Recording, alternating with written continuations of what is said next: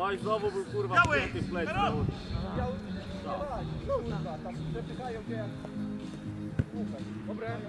Oj, Jest! Brawo Adam! Adam, to było podanie, Brawo Karol! Masina po ślizgu złapała. Dobrze, że nie masz włosów. Mogę już karmić. Nie, nie.